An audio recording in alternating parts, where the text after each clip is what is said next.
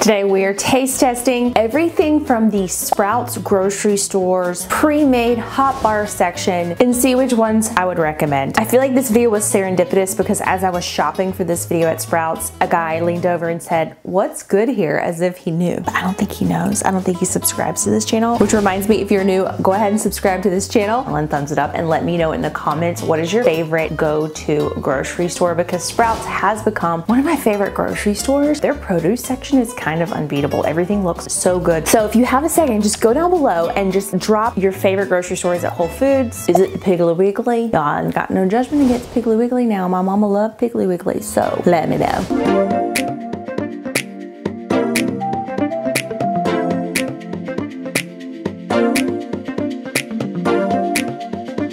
All right, I'm gonna start with everyone's favorite child, macaroni and cheese. Comment in the comments if mac and cheese is your favorite child. And if you disagree, I'm willing to fight you over this. But I will say, it is hard to find a good mac and cheese. Why is that? Let's see what Sprouts tastes like. Ooh, that's extra cheesy. I recently just did a video where I taste tested all of Whole Foods hot bar items and their mac and cheese gave me very much like buffet Golden Corral nostalgia vibe. This is better than that in terms of texture. It feels very thick and creamy. It almost tastes like it has American sliced cheese on it or something. It's very cheesy and so good. Y'all know my love language is roasted sweet potatoes. Let's try them. Hmm, I like them a little thinner and a little crispier with like almost like a crunch. These are a little soggy. The flavor is good. I think there's some good seasoning in here. Let me try one more bite.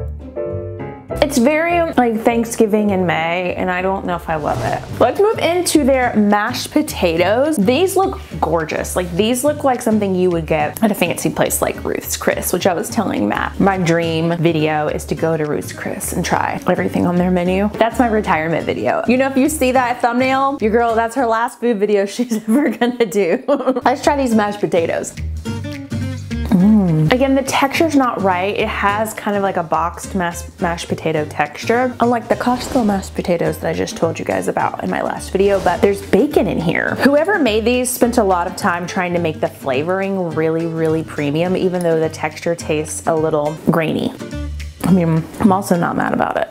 I'm not above box mashed potato texture, let me just tell you that right now. That mac and cheese is so good. Save some. All right, let's try the beef and pork meatball with marinara. These looked gorgeous in the container. Look at that sexy lady. Lots of seasoning, I can tell. Cheers. Wow, mmm, feel emotional for some reason. Why? It's so delicious. I think my expectations were kind of low because it's a hot bar pre-made type thing. It's better, dare I say it, than the Erewhon meatball that I had, like by a lot. And it's significantly cheaper. It's not $3,000. I don't have to use my retirement money to buy it. Oh my gosh, so juicy, so tender, so texturized. I feel like meatballs can be a little ground up too much. The flavor's so rich. I can't get over how much flavor is in that. This is the chicken parmesan. These are breaded chicken breasts with lots and lots of parmesan, so I appreciate the extras. The flavor is really good. It needs more sauce, but I am surprisingly shocked at how much seasoning and texture and flavor is there. And you get a huge portion. I really feel like this is a great option. Feels comforting. It's just, I feel like there needs to be some sort of marinara, but it's still delicious despite that, which is surprising. Brussels sprouts are another supernatural favorite of mine. If a Brussels sprout is done properly, it could change your life. It could change the course of history. That's how much I believe in them and their their potential, but they can taste horrible. so I'm always reluctant to just deep dive into Brussels because I'm a little bit of a snob about it. And I have some amazing places in Los Angeles that makes the most amazing Brussels sprouts, which is a phrase I never thought I'd ever say growing up, eating Krispy Kreme donuts, okay? But here we are. We grow, we evolve, and we enjoy. Cheers.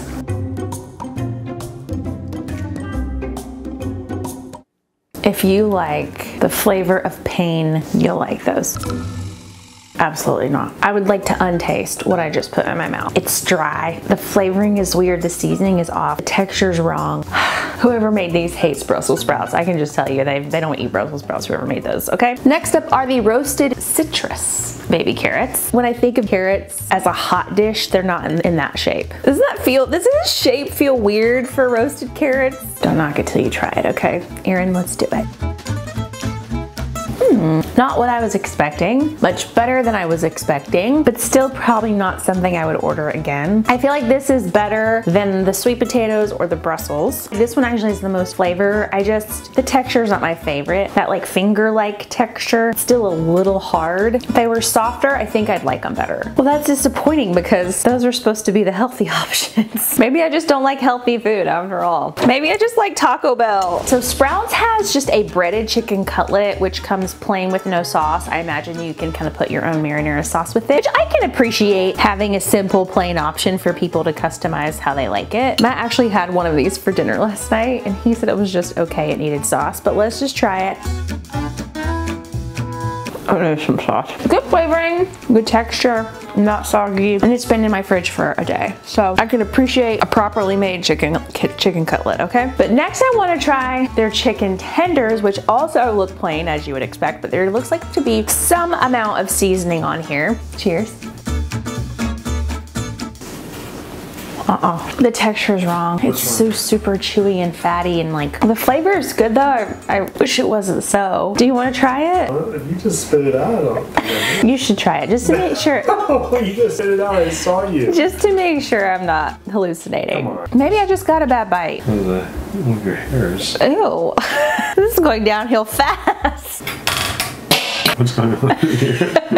and it's like mushy. I want to eat that. It tastes like a rubber sole of a shoe. I wouldn't know what those taste like, but I would imagine. It's like mushy. It's weird. It's like if you took a Dr. Scholl's insert and you fried it up and served it with some ranch dressing. I have never met a chicken tender I didn't like. Have you? Have you ever met a chicken tender that you spit out? I don't think I have. And I've been doing this professionally for like half a decade. I cannot, in good conscience, conscience, recommend that to anyone. Just go to McDonald's or Burger King my next food victim was supposed to be the regular chicken tenders and I promise I didn't do this on purpose.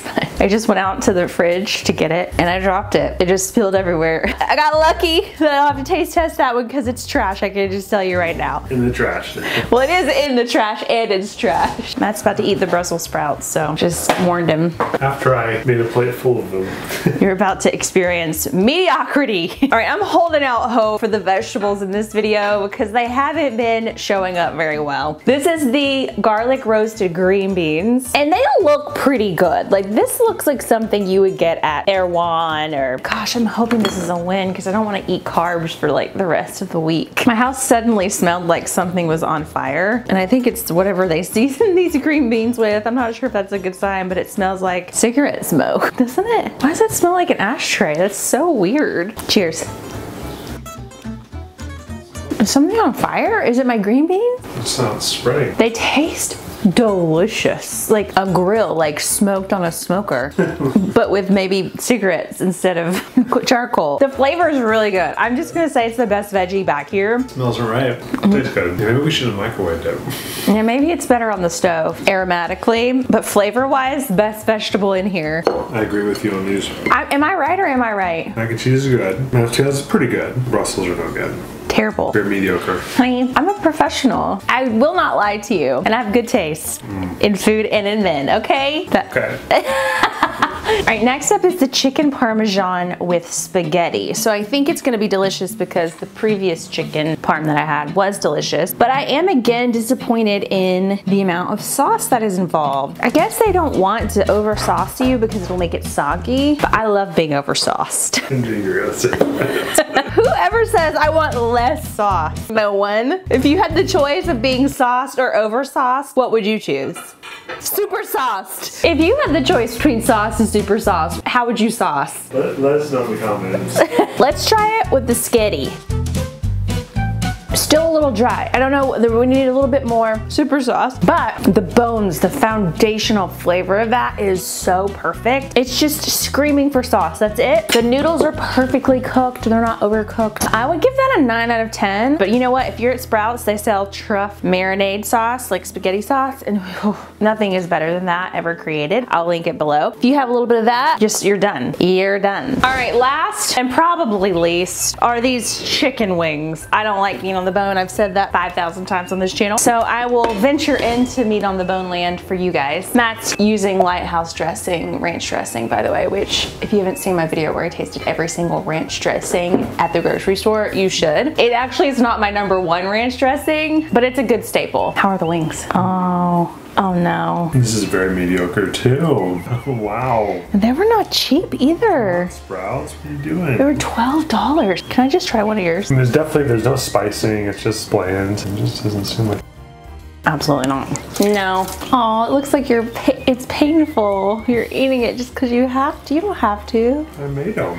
The super sauce didn't help. Super sauce did not help. That's literally gagging on the chicken wings. I'm sorry. I'm sorry. I'm sorry I asked you to try those first. What did you bring home?